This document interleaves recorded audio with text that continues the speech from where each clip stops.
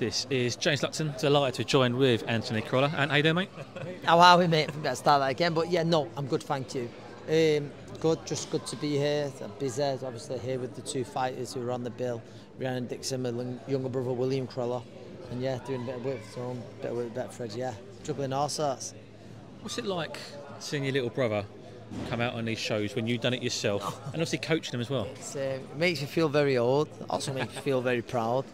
Um, and yeah, no, it makes me excited for it all. And it's um, it's good to see him living out his dream and also be with him while he's being beside him while he's living out his dream, just like he was for me. Is it almost reliving it all over again for yourself?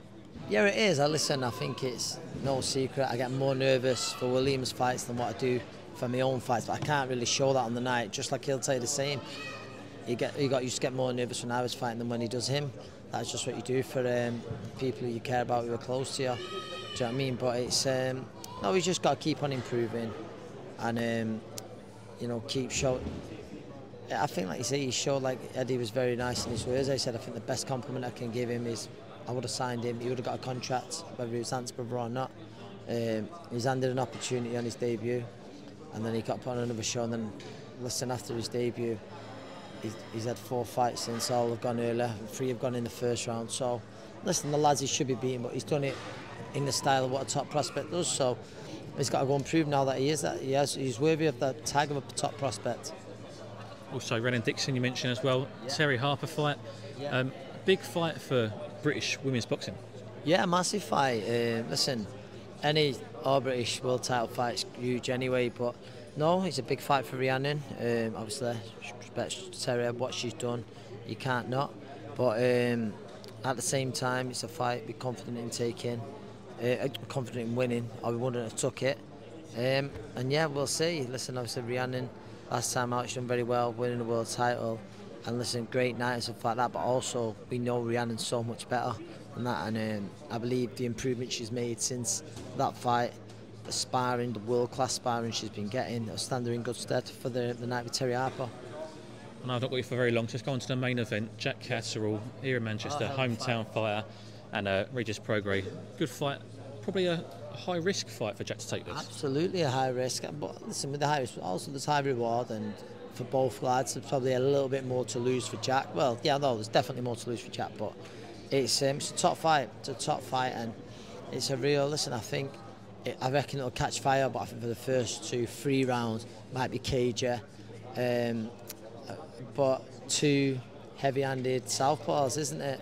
But um, also, like I say, I'm, I'm looking forward to it, and I think Jack is building on the back of that fantastic win over Josh Taylor and a brilliant fight last time out.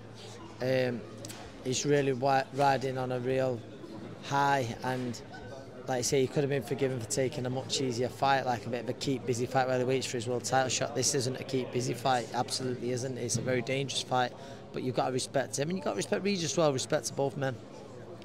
In Leeds that night against Josh Taylor, I don't Yeah. think there was a single man left in Chorley. What's it going to be like here? It's well, yeah. It's um, they they get behind him, and you know, so they should. He's a good lad, good lad, very good fighter, and um, I would say family man. He ticks he ticks all the boxes for someone who I think you would be teaching the young people of Chorley to look up to, in my opinion. So that's why he gets the support he deserves. Um, he does, and yeah, the support he deserves. So I think he'll have great support again. I think it would have only grew on the back of the Josh Taylor fights. It was a fantastic fight, wasn't it? Um, and it, then what happens is it becomes a night out for the whole of Chorley. Um, and what a night it'll be. And yeah, I'm sure they'll be nice and quiet in here on uh, in August. Last question from me again, just away from this card.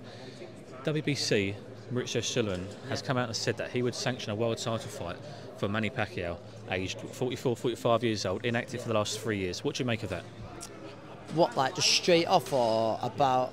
Saying he can come straight back in against Mario Barrios for the world title. I, I think it's I think it's wrong and I think it's disrespectful. Um, I think it's wrong and it's disrespectful if that's the case. Um, but we'll see. Listen, he's a legend, but you can't have that time out and go straight into a world title shot. Crowe, I'll let you go. Thank you for your time. Thank you. Top man.